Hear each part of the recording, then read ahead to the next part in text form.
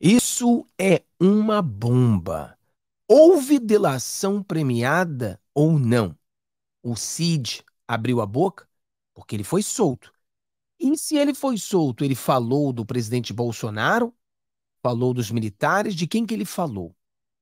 Também temos a questão de que muitos estão dizendo que nessa delação que supostamente houve, um comandante do exército diz que daria voz de prisão ao Bolsonaro? Será que isso aconteceu? No vídeo de hoje também falaremos sobre a questão do banheiro unissex. O que realmente está acontecendo? Nós tivemos aí um grande debate lá nos grupos de WhatsApp e tentei explicar para as pessoas o que realmente está acontecendo. Mas é muita coisa acontecendo num dia só e é difícil para a gente fazer em um vídeo de 22 minutos. Mas vamos estar aqui 22 minutos explicando para você tudo isso aí. A nossa intenção é que você saia de hoje desse vídeo sabendo ou tendo uma ideia, ou ao menos questionando esses pontos que serão colocados para você no vídeo de hoje, tá bom? Meu nome é Fábio, aqui do canal Vida Gringa. Se você não está inscrito ainda, inscreva-se no canal, dê o seu joinha, compartilhe com seus amigos, jogue em todos os grupos para que a gente possa alcançar o maior número de pessoas possível. Pessoas que estão desesperadas, pessoas que não estão entendendo mais nada, pessoas que estão brigando para que eles entendam o que está acontecendo. Eu venho falando já tem algum tempo. Cara, as coisas vão piorar para melhorar. Infelizmente, tem coisas que elas precisam piorar para que comecem a ver a melhora. A gente já começa a ver uma luzinha lá no final do túnel. Está começando a ver um, uma reação. As pessoas estão começando a reagir.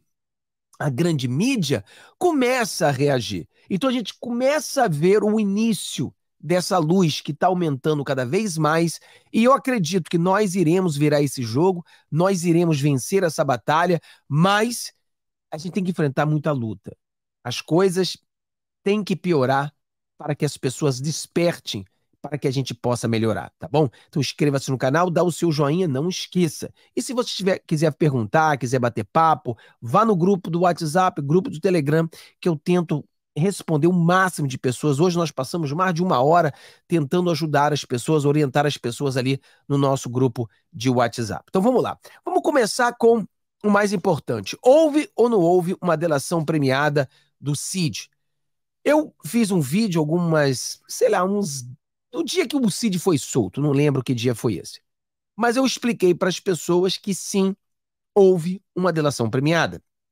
Muitas pessoas me criticaram dizendo que essa era um fake news. Por quê? Porque tem vários youtubers dizendo que era fake news. E as pessoas esquecem que no nosso canal não existe fake news. Pessoal, o nosso canal virou aquele canal onde você vem para ver se o negócio é verdade ou não. É isso que a gente faz. É isso que a gente combate todo dia, o fake news. Então, se eu estou dizendo para você que houve uma delação premiada, é porque houve. Nós não vamos espalhar fake news. Ainda mais um, algo tão sério. Eu posso cometer erros, como todo mundo comete erros. E falar uma coisa errada, colocar uma postagem errada, um meme errado, isso acontece. Mas uma matéria, uma coisa de análise de fake news, isso nunca vai acontecer. Então o que acontece? A minha análise foi simples. As grandes mídias começaram a dizer que houve uma delação premiada. Naquele momento eu falei, ó, fica com o pé atrás. Por quê? Porque a delação premiada iria seguir de uma soltura. O Cid está preso. Se realmente houve uma delação premiada, ele seria solto. Né? Então, se ele não foi solto, é porque ainda não tem uma delação premiada. Simples. Aí saiu uma outra matéria dizendo que houve uma delação premiada e houve a soltura do Cid. Quando o Cid foi solto, eu falei para vocês, houve uma delação premiada fato de que tem uma delação premiada. Ah, Fábio, é fake news. Não é. Não adianta. A direita, às vezes, nós temos, cometemos um erro de querer é, é, esconder, tapar os olhos para a verdade, como se isso fizesse com que a verdade sumisse. Já viu criança quando eles veem um bicho ou uma, uma máscara ou uma imagem que dá medo, eles fecham os olhos e depois abre para ver se a imagem continua ali, para ver se aquilo continua ali. Parece que a direita às vezes faz isso. Eles veem um problema, ele fecha o olho. Aí abre devagarinho para ver se o problema desapareceu. Esse problema não vai desaparecer. A verdade tem que ser confrontada. Nós temos que aceitar, não aceitar no intuito de aceitar o que está acontecendo, mas eu digo em ver que aquilo ali é uma verdade. Agora, identificando a verdade, eu preciso agora ver o que eu posso fazer para combater o que está acontecendo. Então, o fato é que houve uma delação. Isso é fato incontestável. Se alguém está dizendo que isso é fake news, para de seguir essa pessoa. Para de dar ouvido a essas pessoas. E, poxa, cai na realidade. Não é fake news. É óbvio que houve uma delação, porque ele saiu da cadeia. Ele saiu da cadeia porque houve uma delação. Até mesmo as grandes mídias começam a criticar e dizendo que o mesmo que fizeram com Lula, fizeram com ele. Não que o, o, no caso do Bolsonaro, a comparação não foi da ilegalidade, porque a gente sabe o que o Lula fez, nós sabemos que o Bolsonaro não fez, mas eles usaram a tática de delação premiada igual. O cara foi, teve a delação premiada, uma vez o cara entregando algo que eles queriam, eles saíram. Agora, a pergunta que nós temos que fazer é que as grandes mídias estão espalhando, porque vaza, tudo no Brasil, tudo vaza. Tudo, não existe segredo no Brasil, né? Tudo vaza. E o que eles estão dizendo é o seguinte, e nós temos que analisar. Que tipo de delação poderia ter sido feita pelo Cid para que eles pudessem soltá-lo? Ou seja, tem que ser algo forte. Não pode ser algo, entendeu? Entregar um soldadinho. Soldadinho não vai. Não, tem que ser um peixe grande. Nós sabemos que a visão do sistema é prender o Bolsonaro. Eles querem prender o Bolsonaro de qualquer jeito. Por isso que muitas pessoas até mesmo debatem, até mesmo nós discutimos sobre isso. Fábio, você acha que o Bolsonaro deveria ter voltado ao Brasil? Aí a pessoa fala, mas Fábio, Bolsonaro não fez nada, por que não deve voltar ao Brasil? Não fez nada. Mas a questão é essa, mesmo não fazendo nada, existe uma perseguição. E nós sabemos que existe uma chance grande do Bolsonaro ser preso. Não que ele tenha feito alguma coisa, mas existe uma perseguição. Hoje eu estava analisando com as pessoas no WhatsApp e eu cheguei a essa essa análise de que talvez o Bolsonaro tenha voltado ao Brasil não por ele, mas pelo povo. O Bolsonaro ele tem se ferrado muito porque ele tem se sacrificado por esse povo brasileiro. O Bolsonaro levou uma facada, o Bolsonaro está com a saúde. De vez em quando o Bolsonaro vai para o médico, não sei quantas cirurgias já teve, não sei quantas visitas ao médico. Por quê? Porque sacrificou por esse povo brasileiro. Então, às vezes, eu penso que o Bolsonaro voltou ao Brasil, porque ele realmente precisa é, é, ajudar o povo brasileiro, está sacrificando para o povo. Porque qualquer outra pessoa no lugar do Bolsonaro não voltaria para o Brasil, mesmo sabendo que não cometeu nenhum crime. Mas você sabe que eles vão te perseguir, vão, não vão cansar até te prender, vão criar coisas. Então a gente tem que entender essas coisas que está sendo feita, né? É uma jogada.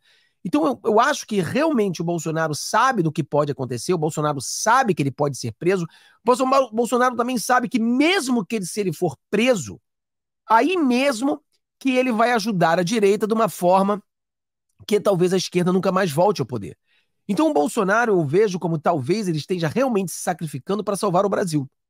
Sacrificando até o ponto de talvez ser preso para que a direita entre no poder e nunca mais saia. Mais ou menos algo assim. Não sei se você concorda com isso, não sei se esse é o seu pensamento, mas existe essa chance do Bolsonaro ser preso. Não por ele ter cometido coisa errada, mas por uma perseguição. E eu tenho visto que eles estão juntando todas essas coisas, porque eu estava falando com as pessoas também que é o seguinte: quando não se tem provas, não existe aquele smoking gun, não existe o batom na cueca, e o sistema quer prender essa pessoa, o que, que o sistema vai fazer? Ele vai pegar vários indícios, colocar todos os indícios em uma, uma, uma, uma, uma cesta, para que, como se os muitos indícios se transformassem em provas. Esses indícios não se transformam em provas. São apenas indícios que não têm provas. Mas eles acreditam, se eles colocarem vários indícios juntos, as pessoas vão olhar isso como se isso fossem provas. Então, eles estão esperando, por exemplo, o término da CPMI, estão esperando todas essas coisas para botar tudo num pacote só e dizer: olha, aqui estão indícios, as provas, e vão tentar prendê-lo. Eu acho que é isso que eles vão tentar fazer.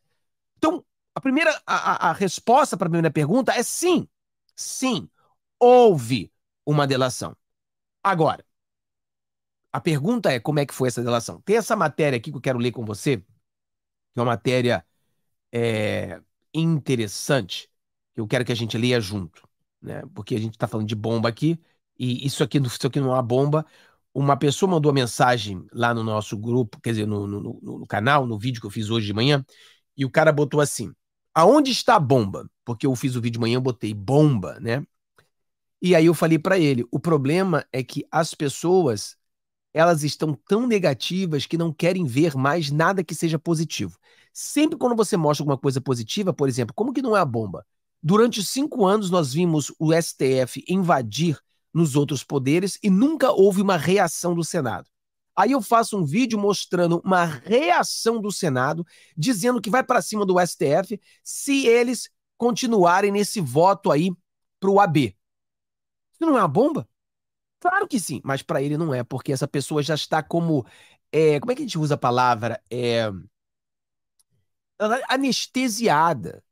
Quer dizer, a, tudo que é positivo, ela não acredita mais. Então já está anestesiada.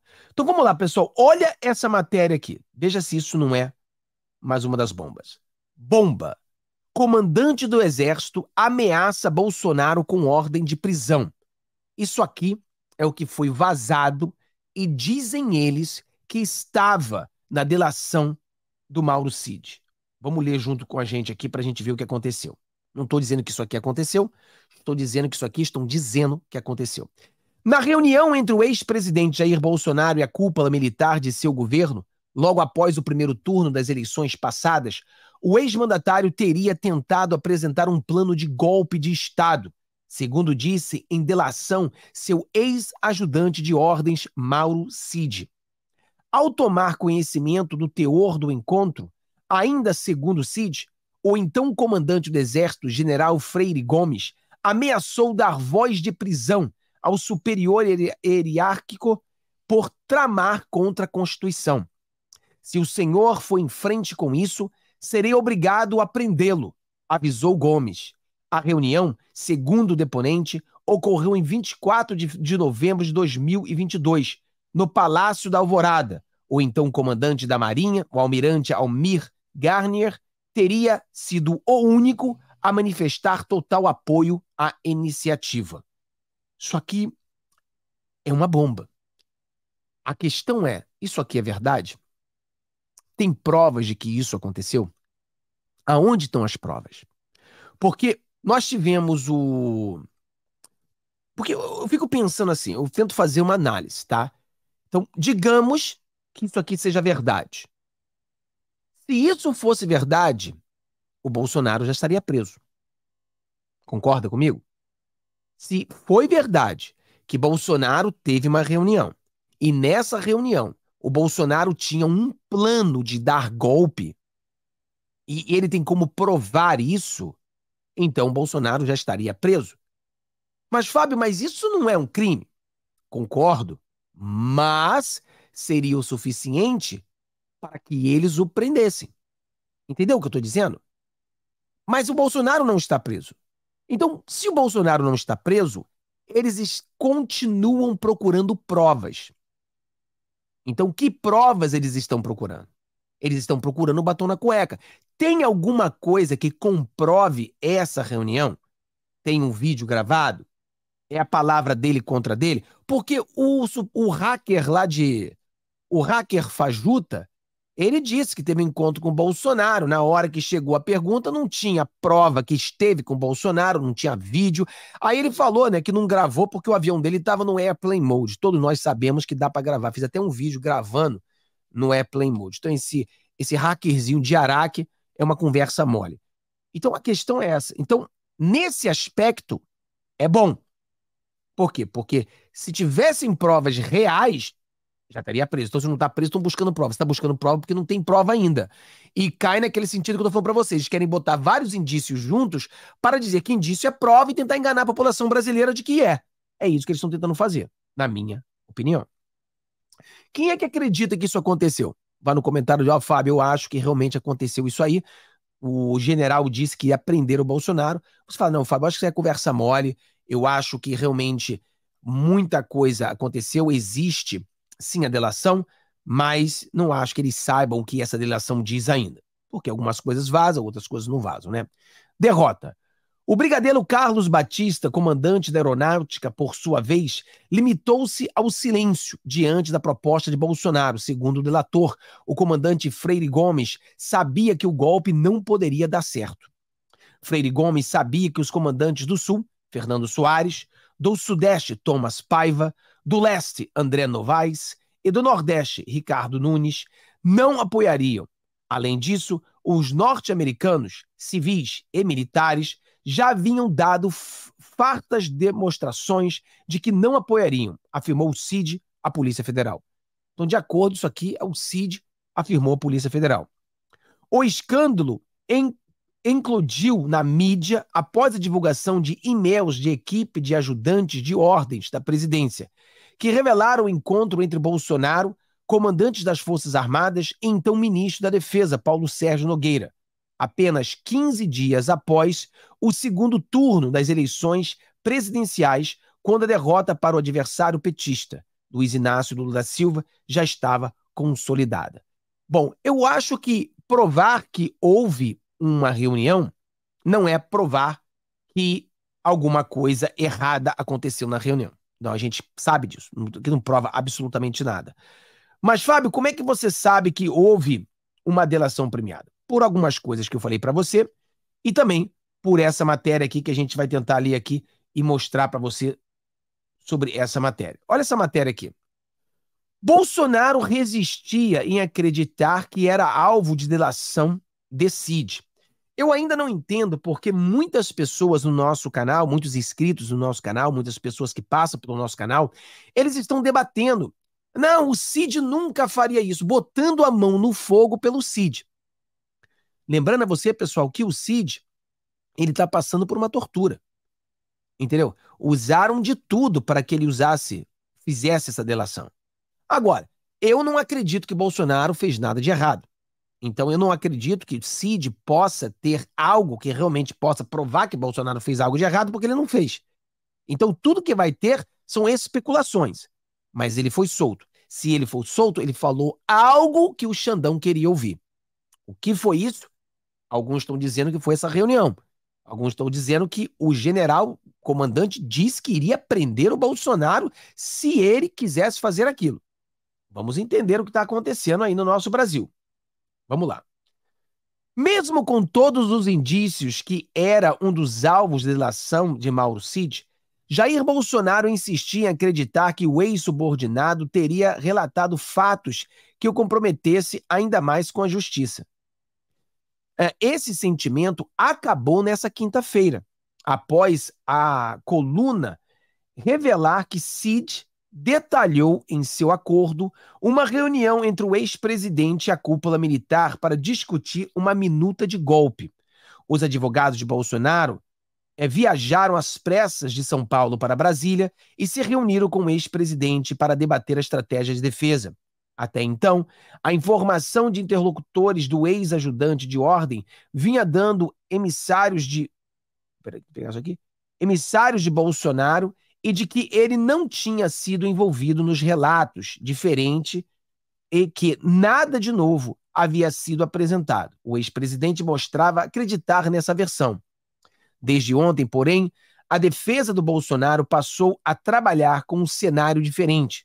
Na avaliação de auxiliares do ex-presidente, Cid aproximou-se, uh, Cid aproximou Bolsonaro da aproximou Bolsonaro da Marinha e ambos devem atuar na mesma linha de defesa.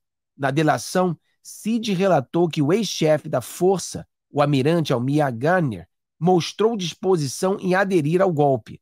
A estratégia, por hora, é tentar trazer mais militares para o lado do ex-presidente, na busca de esvaziar o relato de Cid de outras colaborações e deixá-lo isolado. Aqui é a matéria da Globo. Ou seja, de acordo com essa matéria da Globo, o que eles estão querendo fazer é o seguinte: é querer deixar o Cid vazio, sem ninguém, porque o Cid disse que o comandante disse aquilo. Se o comandante negar e falar, olha, eu não falei nada disso, então a delação do Cid ela cai por terra. Entendeu? Porque não tem apoio. a única forma para o Xandão aceitar a delação é porque foi algo que o Xandão gostou. Agora, o Xandão começa a fazer investigação para encontrar o batom na cueca. Se diz que o comandante disse que iria prender o Bolsonaro, então ele vai conversar com esse comandante. E o comandante dissesse que sim ou não, aí vai depender. Se o comandante falou que não, eu nunca falei isso com o Bolsonaro. Isso nunca aconteceu. Tivemos reunidos, mas falamos sobre outras coisas, não falamos sobre isso. E agora? O que, que vai acontecer? Então é isso que a gente tem que colocar no contexto e tentar entender tudo isso, tá bom? E aqui, antes da gente terminar, um assunto muito polêmico saiu agora é, no Brasil inteiro, todo mundo falando sobre isso, sobre os banheiros unissex. E o que a gente tem que entender é ler tudo o que está acontecendo. Tem muitas coisas que a gente não pode falar abertamente aqui, porque dá problema na plataforma, mas a realidade é uma só. Não é uma lei, é uma orientação. O governo petista, mentiroso, ele fez uma orientação para as escolas terem esse tipo de banheiro.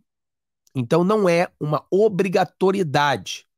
E também outro ponto que fala na orientação é que seriam banheiros unissex individuais. Não é um banheiro unissex coletivo. Ou seja, vamos fazer um exemplo aqui. Você tem uma fila e a fila tem um homem, né, um, hétero e uma mulher. Então os dois não vão entrar juntos ao banho. Entra primeiro um homem, ele sai, depois entra a mulher. É um banheiro unissex individual, tipo do avião, tipo do ônibus, tipo de da nossa casa. Como é que é o banheiro da nossa casa? É um banheiro unissex individual. Você entra, você sai, sua mãe entra, sua mãe sai. Então é disso que a lei está falando. É lógico, é lógico que é uma agenda que eles querem muito mais do que isso. Mas até o momento é disso que está sendo falado. Então o que nós precisamos fazer é resolver o problema e não simplesmente ficar debatendo a causa como fazem a esquerda. A esquerda simplesmente debate causa. Eles debatem. A esquerda é mestre de criar problemas perpétuos. Né? A seca no Nordeste, eles criam problemas, a miséria no Brasil, ele criam o problema e eles nunca resolvem o problema. E nós de direita não, temos que ser mais proativos e resolver o problema. Então, se o problema é esse, então assim, então a gente tem que pensar como resolver o problema e não simplesmente ficar debatendo o problema sem nenhum tipo de maneira de resolvê-lo. Então, ao menos não caia na armadilha, porque vai ter muitos deputados, muitos políticos espalhando, dizendo que é uma lei, vão ser processados pelo governo Lula. E você sabe que hoje está muito complicado porque o Lula ele tem aí tudo ao seu favor, tem a justiça, está usando a justiça para o seu benefício. Então a gente tem que ter muito cuidado com o que a gente fala. Então orienta as pessoas a entender o que realmente está acontecendo nessa questão tá? Só para você entender. E se tiver mais pergunta, entra no grupo de WhatsApp, no Telegram, eu explico mais para você, tá? Deus abençoe todos vocês, vocês têm um dia maravilhoso, coisas boas aconteçam na sua vida, tá bom? E eu falei para as pessoas hoje de manhã que o, o vídeo das 6 da manhã será 22 minutos. Os outros vídeos a gente vai fazer em 22 minutos, 10 minutos, 30 minutos, vai depender do conteúdo, tá? Deus abençoe a todos. Vejo vocês amanhã às 6 horas da manhã para a gente começar o dia com o pé direito. Tchau, tchau.